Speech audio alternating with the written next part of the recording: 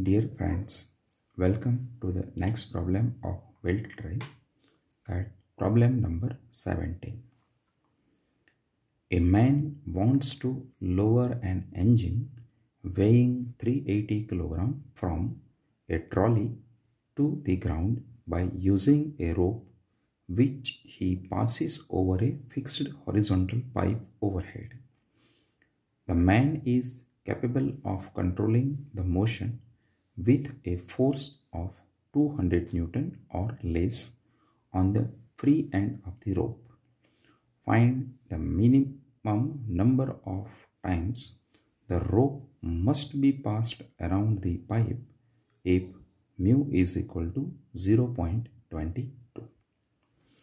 Friends, let us first of all prepare a diagram for the given situation so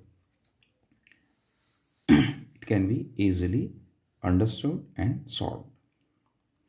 Here this engine is to be lowered from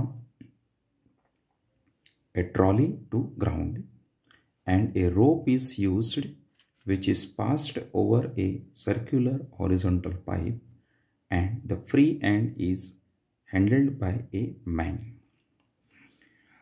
The maximum force a man can apply is equal to 200 Newton and the weight is to be lowered this side. So the force acting on this side, engine side rope is gravitational force because of the engine weight that is mg. Hence this side will be a tight side and the rope handled by the man will be a slack side. So we can denote the tension induced on the rope side which is uh, carries the engine is tight side T1 and tension acts on the rope which is handled by the man that is T2. Here it is given that mass of the engine is 380 kilogram the force applied by the man is given 200 Newton. So we can say T2 is equal to 200 Newton.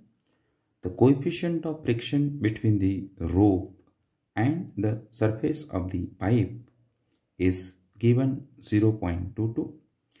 We have to find out the minimum number of tons which the rope should pass over the pipe so the phenomena is possible that n is to be calculated.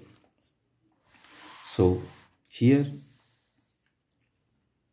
T1 is equal to gravitational force due to mass of engine that is equal to m into g. Substituting the values m mass of the engine is 380 kilogram and g value is 9.81. So the tension T1 in the rope is 3727.8 Newton.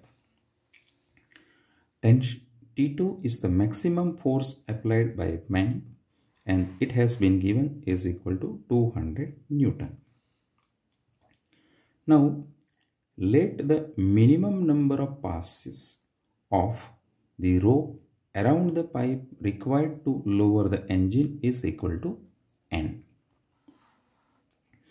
So the angle of lap between the circular pipe and the rope will be theta is equal to 2 pi n.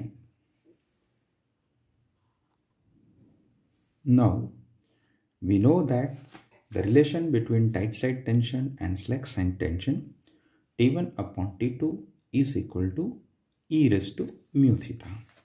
So Substituting the values of non-parameters, T1 is equal to 3727.8 divided by T2 is equal to 200 is equal to e raised to mu is equal to 0.22 and theta is equal to 2 pi n.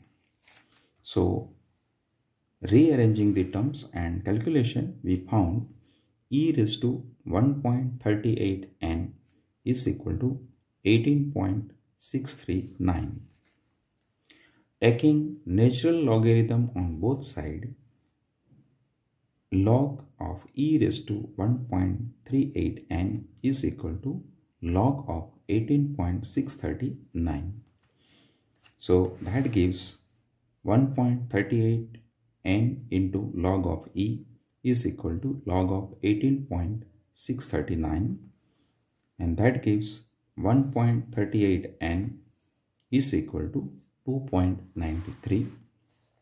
So n is equal to 2.93 divided by 1.38 and it gives n is equal to 2.12 tons.